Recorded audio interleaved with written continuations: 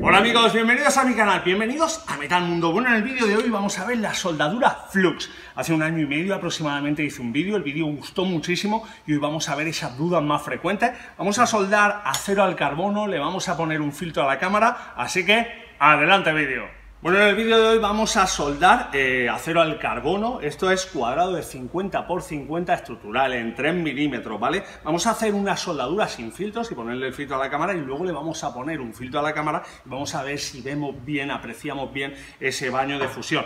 Vamos a empezar con las preguntas. La primera pregunta que más se repite es si el humo que proyecta este tipo de soldadura es muy perjudicial para la salud, porque es un humo muy denso, ahora lo vais a ver.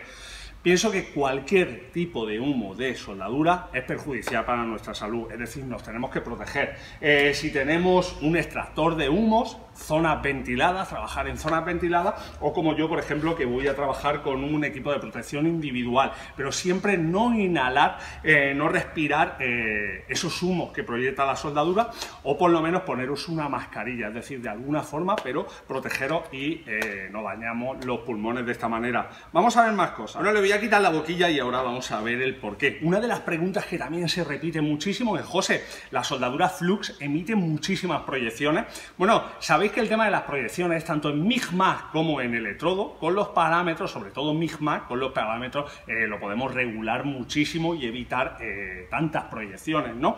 Pero bueno, la soldadura Flux sí que es cierto, ahora lo vamos a ver que emite muchas proyecciones, pero tampoco lo puntualizaría muchísimo, o sea, es decir, MIGMA también lo hace, MMA, soldadura con electrodo también, pero hoy en día es que no tenemos problemas porque con cualquier spray antiproyecciones, ahora cuando vayamos a soldar, le echamos y evitamos eh, rodear esa zona con proyecciones. Venga, lo que acabo de hacer, quitarle la eh, tobera para soldar. Esto se repite mucho, esta pregunta es muy frecuente también. Mirad, el hilo flux, una de las ventajas que tenemos es que no tenemos que aportar un tanque de gas, es decir, no necesitamos gas. Ahora voy a explicar el por qué no necesitamos gas.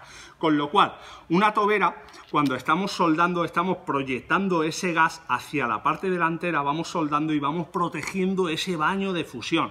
Con lo cual, si por el difusor de gas no va a salir gas, es decir, que no cumple la función, con lo cual ahora vamos a soldar hacia la parte trasera, soldadura de arrastre, ahora lo veremos, pero cuando vayamos soldando, como por el difusor de gas, repito, no sale gas, no cumple función. Si soldamos muy frecuentemente, existe un protector para eh, nuestra boquilla, pero ya os digo, no cumple función y lo único que, como comentábamos, echa tantas proyecciones, se nos va a ir llenando el interior de proyecciones, con lo cual Buena solución, la quitamos y arrancamos soldadura. Más cosas. José, en la soldadura flux, hacia adelante, técnica de arrastre, ¿cómo lo hacemos? Yo voy a dar mi opinión personal, porque incluso entre soldadores profesionales he visto debate. Mirad, ¿qué pasa? Que es muy similar a la soldadura MIG-MAG, entonces nosotros vamos soldando hacia la parte delantera, porque eh, proyectamos un gas, protegemos ese baño de fusión, con lo cual vamos soldando hacia adelante, lo que comentábamos antes.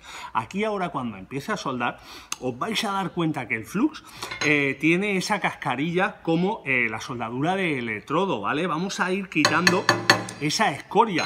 ¿Qué pasa? Cuando soldamos con electrodo, la misma escoria nos va invadiendo, con lo cual con el electrodo hacemos una técnica de arrastre. Yo he estado probando muchas veces y a mí la soldadura flux me gusta muchísimo más hacia la parte trasera, una soldadura de arrastre. Por eso mismo, porque emite escoria, entonces vamos soldando, vamos dejando esa escoria detrás y luego cuando eh, terminemos la soldadura lo picaremos y veremos el resultado.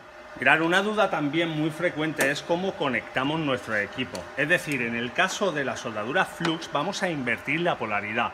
Nuestra pinza masa la vamos a conectar en el positivo y nuestra antorcha, el hilo, lo vamos a conectar en el negativo. Con la soldadura flux invertimos polaridad. Bueno, también hay mucha gente que me pregunta por las ventajas. ¿Qué ventajas tiene la soldadura flux? Yo, a nivel profesional, para soldar en un taller, soldadura MIGMAC, por supuesto. Y para soldar en exterior, soldadura con electrodo, ya os digo, a nivel profesional. Pero luego está la gente que lo quiere para hobby o gente que se está iniciando en el mundo de la soldadura. ¿Qué pasa? Que la soldadura flu tenemos varias ventajas. Una, y muy importante, no necesitamos una botella externa, no necesitamos un contrato, tener una botella, contrato, etcétera, tal y cual. Simplemente colocamos nuestro eh, hilo flux y a, soldar. Y luego también otra ventaja que tenemos, por ejemplo, también en exterior, es una soldadura que cuando soldamos con MIG-MAG en exterior, eh, proyectamos ese gas y si estamos fuera, en lugares muy ventilados, etcétera, tenemos problemas, no se puede oxidar la soldadura, con lo cual la soldadura flux, como es muy similar a MMA, la soldadura de electrodo, para soldar en exterior también funciona de maravilla. Y luego, es muy similar a MIG-MAG y es muy fácil de soldar. Este tipo de soldadura pasa como en MIG-MAG. Enseguida, no a nivel trabajos profesionales, pero enseguida vamos a ir pillando esa soldadura, haciendo buenos cordones y cogiendo un poco de confianza con este tipo de soldadura. Sin embargo, el electrodo un poquito más difícil, lógicamente. Más cosas y donde mucha gente tiene problemas. José, ¿es eh, cierto que el hilo eh, de la soldadura flux es un hilo más delicado, eh, más frágil? Sí, correcto, totalmente. Es un hilo tubular, para que os hagáis una idea, con la soldadura MIG-MAG es un hilo macizo y este hilo es tubular, digamos que está hueco. Ahora hablaremos del interior. Con lo cual, sí es un hilo más, más frágil y uno de los problemas lo tenemos en el tren de empuje. Esta máquina, por ejemplo, tiene un rodillo e incluso veréis otras que tienen dos rodillos de empuje, ¿no? Entonces, ¿qué pasa? Tenemos que llevar muchísimo cuidado con la presión. No que esté, eh, no que quitemos la presión totalmente, o si no, el rodillo no trabajaría, lógicamente, pero en el momento hagamos presión y ya salga el hilo por eh, nuestra antorcha, es más que suficiente. No hay que apretar mucho porque estrangulamos y sobre todo el hilo flux, al ser tubular, lo estrangulamos con mayor frecuencia, con lo cual eh, tenemos que llevar mucho cuidado con esta presión. Venga, que ahora ya sí que nos vamos a soldar. Arrancamos ya con la soldadura. Por último, el hilo tubular, ¿vale? Este alambre tubular relleno de fundente, ¿qué es, José? ¿Esto qué es? Es un proceso de soldadura de arco, pero ¿qué es? ¿Cómo funciona, no? Para proteger el baño de fusión, este gas emplea un gas que proviene de los componentes que están dentro del fundente situado en el interior del alambre. Es decir, lo que explicábamos antes, es como si fuese eh, un tubo, alambre tubular, y dentro digamos que tenemos ese fundente. Por estas cosas no necesitamos un gas externo. Venga, como siempre, chaqueta, guantes, nos protegemos bien yo con mi equipo de eh, protección respiratoria vamos a intentar no inhalar ese humo. Echamos un poquito de spray antiproyecciones. Siempre tener eh, un cortalambre cerca, ¿vale? Dejamos el hilo a la medida deseada y arrancamos con la soldadura. Venga.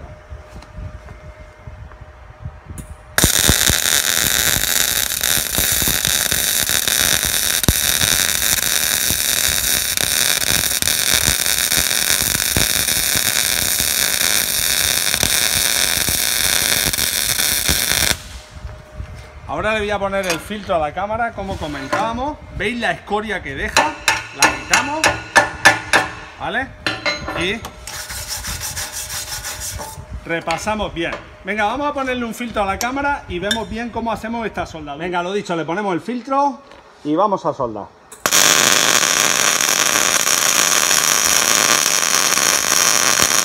¿Veis cómo voy arrastrando? De maravilla.